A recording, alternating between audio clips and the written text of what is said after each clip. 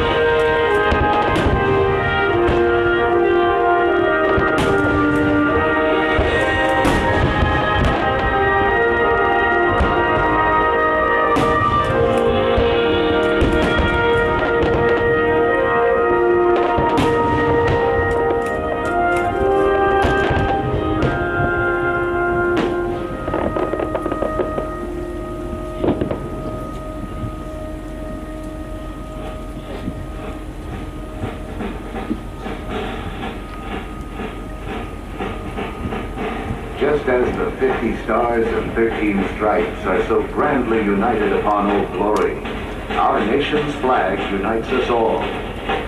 Let us join together to the red, white, and white, and blue, and cheer the hopes and dreams that continue to shine throughout America.